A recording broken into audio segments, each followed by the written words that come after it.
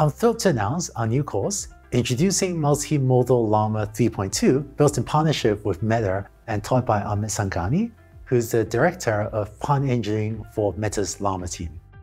Very glad to be here with you, Andrew, and to teach this course. The Llama open family of models has been a game changer for AI, and Llama 3.2 released new multimodal capabilities so you can understand both text and images. This course will show you how you can take advantage of the Llama model as well as Meta's new Llama Stack, which is an open source orchestration layer for building on top of the Llama family of models.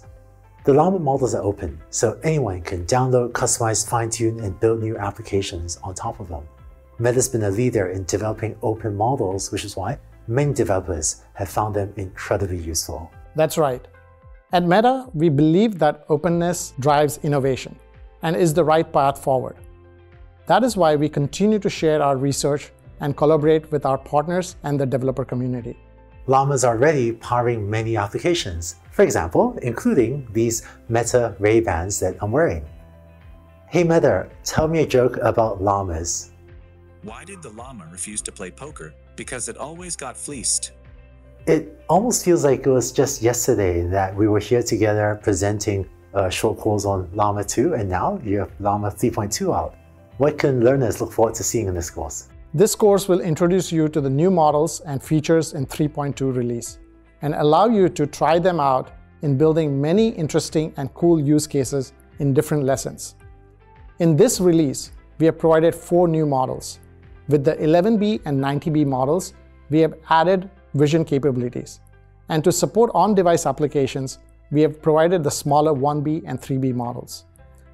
In the lessons in this course, you will explore the vision capabilities of the 11B and 90B models, ranging from image classification to combining the vision and tool use. You might have heard of the user and assistant roles in LLMs.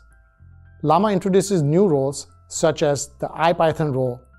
This is a tool calling role giving the Llama family built-in and user-defined tool calling capabilities.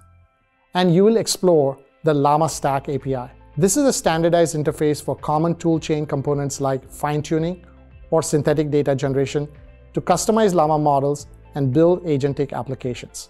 All that sounds fantastic. So I hope you join us for this course and I don't know, Amit, if the model family keeps growing, we might need a bigger desk. That's right.